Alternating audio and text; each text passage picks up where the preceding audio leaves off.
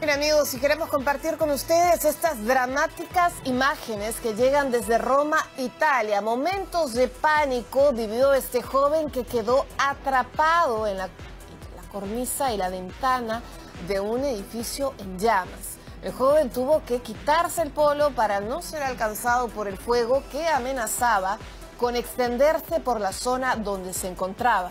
Los bomberos lograron sofocar el incendio y lograron rescatar sano y salvo al hombre.